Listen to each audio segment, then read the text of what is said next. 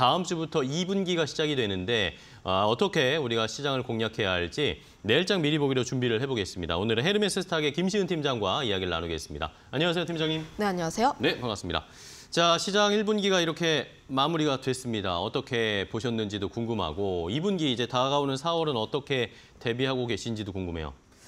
일단 뭐 이번 주처럼 좀 대응해야 할 필요가 있지 않을까. 네. 사실 지수로만 따지면 굉장히 큰 폭의 상승세가 나왔는데 사실 그렇게까지 건강한 시장은 아니에요. 모든 그렇죠. 종목이 다 오르는 게 아니라 어, 특정 섹터, 특정 종목군들이 지수를 이끌어가고 있다라고 보시면 좋을 것 같은데 오늘 같은 경우에도 코스피 상승 종목수, 하락 종목수 비교를 하면은 하락 종목수가 월등히 더 큰데. 어, 0.03% 상승을 했습니다. 그 뜻은 지금 현재 삼성전자라든지 SK하이닉스 반도체 소부장 쪽에 대한 수급이 굉장히 집중적으로 나와주고 있다라고 보시면 좋을 것 같아요. 어, 그러면 내 포트에 반도체가 없으신 분들 같은 경우는 굉장히 지금 이 시장에서 소외가 되고 있다라고 보시면 좋을 것 같습니다. 어, 이 흐름이 그러면은 2분기가 되었을 때 조금 더 해소가 될 것이냐 이 부분에 대해서 조금 더 체크를 해볼 필요가 있는데 어, 저는 여전히 2분기에도 반도체 중심의 시장이 더 나오지 않을까라고 어, 보여지고 네네. 있고요. 아무래도 지금 지수를 이끌어가고 있는 게 삼성전자라고 보시면 좋을 것 같은데 네. 삼성전자의 외국인과 기관의 매수세가 계속해서 들어오고 있습니다. 그리고 어, 삼성전자 쪽에 대한 외국인의 매수세가 집중이 되고 있다는 것은 어, 다른 종목군들의 차익을 하고 그리고 코, 그 삼성전자에 집중을 하고 있다라고 보시면 좋을 것 음, 같아요. 네네. 결국 어, 마이크론이 힌트를 줬고 엔비디아가 힌트를 줬던 만큼 4월 5일에 예정이 되어 있는 삼성전자 발 잠정 실적 발표가 가장 중요하지 않을까 싶은데 물론 큰 틀의 흐름을 보게 되면 어, 삼성전자 8만 원대 뚫고 안착을 했고 앞으로 더 성장할 가능성이 높다라고 보여지고 있긴 한데 어, 제가 다음 주 같은 경우는 네. 조금 판단이 반반 갈립니다. 네. 아무래도. 우리 증시 같은 경우에는 기대감이 먼저 선 반영을 한 측면이 있고 그거에 따라서 삼성전자가 먼저 움직였어요. 어, 깨국장이 네.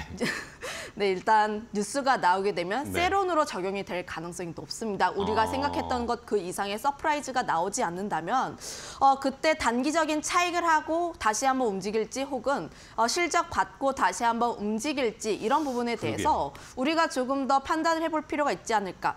어, 물론 현재 지금 반도체 종목군들을 가지고 있으신 분들 같은 경우는 계속해서 홀딩 의견이긴 하나 관련했을 때 없으신 분들 같은 경우는 삼성전자 잠정 실적 발표 이후에 다시 한번 지수의 방향성이 갈릴 수가 있다 보니까 이런 부분들까지 조금 더 감안을 해본다면 어, 그때까지는 약간 더 관망을 하시는 게 맞지 않을까라고 보여지고 있고요. 최근 어, 종목군들의 쏠림 현상이 계속해서 나와주고 있는데 저는 두더지 게임이라고 표현하고 싶습니다. 네네. 어, 뭐 계속 움직이고 있는 쪽이 전력기기, 반도체, 방산, 로봇, 어, 뭐 네. 로봇, 화장품, 미용, 의료기기 그쵸. 이런 쪽에서의 수급이 계속해서 돌아가고 있어요. 그런데 이 섹터에서의 흐름이 어, 연속적으로 나오는 것이 아니라 하루 반짝 올랐다가 하루 좀 쉬어가고 그쵸. 다시 한번 또 오르는 어, 좀 이런 순환매가 굉장히 빠르게 돌아가고 있는데 그 와중에서도 주가를 좀 길게 보면 우상향 추세를 그리고 있습니다. 어. 그런 타점을 우리가 조금 더 그러게 잘 봐서.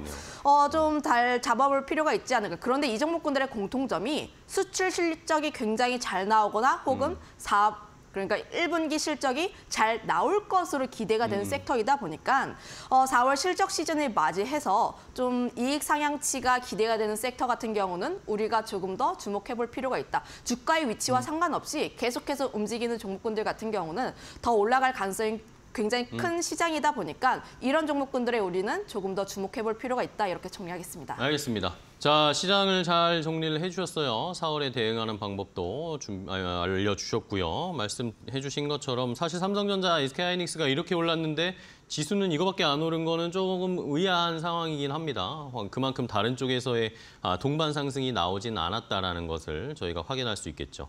자, 그러면 이제 다음 주에 어, 어떤 업종으로 월요일에 공략을 해볼까요? 아까 반도체 말씀해 주셨는데 계속 봐야 됩니까? 반도체는 계속 봐야죠. 네. 아무래도 지금 AI 스토리가 끌어가고 있고 특히 거기다 이제 실적에 대한 기대감이 상당히 높다는 점 물론 어, 삼성전자 영업이익이 5조 5천억 원 이상 그 이상 나오는지 여부를 조금 더 체크를 해볼 필요가 있긴 하나 기대감은 상당히 많이 올라와 있습니다. 네. 어, 특히 글로벌 IB들도 목표 주가 상향에 대한 리포트도 굉장히 많이 나와주고 있고 특히 삼성전자 같은 경우는 앞서 이야기를 했지만 8만 원대라는 그 견고한 저항선 라인대를 뚫어냈다는 점이 굉장히 상징적이라고 보여지고 있는 만큼 어, 저는 삼성전자가 더 위로 향할 수 있고 그 아래서 소부장단에서의 순환매도 굉장히 빠르게 돌아갈 수가 있다. 특히 이제 삼성전자 같은 경우 이제 나와야 하는 이야기는 감산에서 증산에 대한 부분이 음, 나와야 합니다. 네네. 그러면 증산에 대한 이야기가 나오게 되었을 때 소재단에서도 수혜를 받을 수가 있겠고 특히 뭐 삼성전자 같은 경우에 현금성 자산이 굉장히 많습니다. 그러면 다시 한번 또 나올 수 있는 이야기가 캐펙스 투자에 대한 부분들, 장비까지도 함께 수혜를 받을 가능성이 높다 보니까 어, 이런 흐름들 같은 경우에 우리가 조금 더 봐야 한다라고 보여지고 있고요.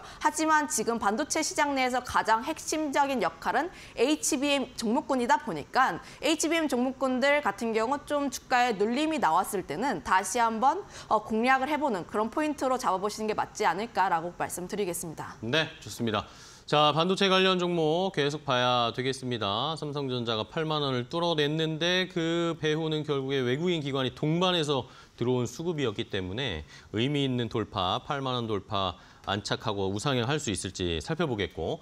자, 이제 마지막으로 다음 주 월요일에 저희가 시초가에 공략할 종목으로는 뭘 보세요? 저는 LS를 보고 있는데 LS? 굉장히 좀 무거운 종목이긴 하지만.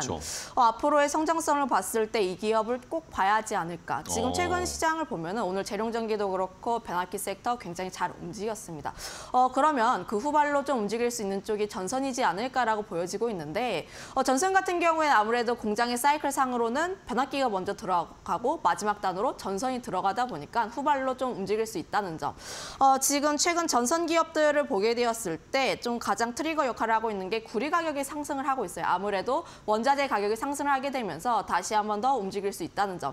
거기다 수주에 대한 잔고량도 계속해서 늘어나고 있는 추세이다 보니까 현재 이 시점 같은 경우는 전선 기업들 다시 한번 매출 성장에 대한 기대감이 높아지고 있다라고 보시면 좋을 것 같습니다.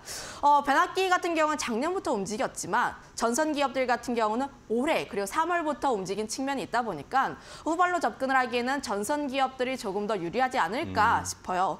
어, LS 같은 경우에는 그 전선 관련했을 때 수직 계열화에 굉장히 특화가 된 기업이다 보니까 어, 좀 무거울 수는 있어도 어, 좀 더 안정적으로 그려 나갈 수 있다는 점 한번 체크를 해보시면 좋을 것 같습니다.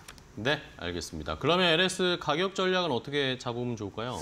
어, 11만 원대까지 좀 분할적으로 접근을 해보시면 좋을 것 같고요. 목표가는 13만 원 그리고 손절가는 10만 원 라인대에 제시하도록 하겠습니다. 네, 알겠습니다. 자, LS까지 다음 주에 저희가 시초가에 공략해 볼 만한 종목으로 소개를 해 주셨습니다. 요즘 뭐 전선이라든지 변압기라든지 이런 전력 관련 인프라 쪽에 관심이 굉장히 많은 상황인데 LS가 이제 수직 계열화된 계열사들이 굉장히 많기 때문에 동반해서 그런 수혜를 얻을 수 있는 또 LS를 저희가 다음 주에 시초가에 한번 공략을 해보도록 하겠습니다.